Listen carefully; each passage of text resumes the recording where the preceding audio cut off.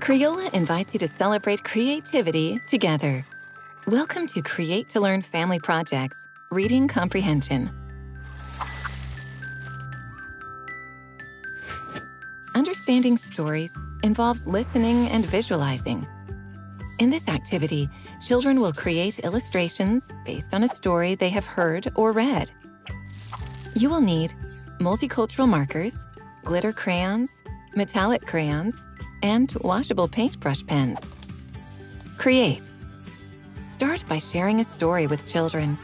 Ask them to sketch the story elements they heard, thinking about the characters, who, setting, where, and plot, what and when, as the story details unfold.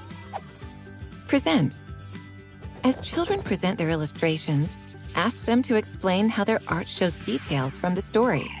Take turns asking questions about the story and ask children to explain the decisions they made as they created their artwork.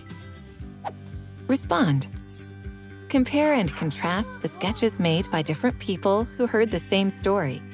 Ask children to identify what is similar and different.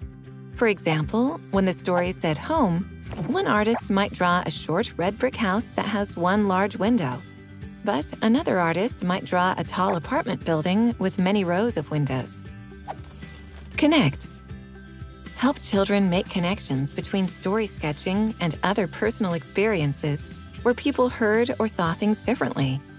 What other examples can children think of where people heard the same information but thought about different examples or ideas?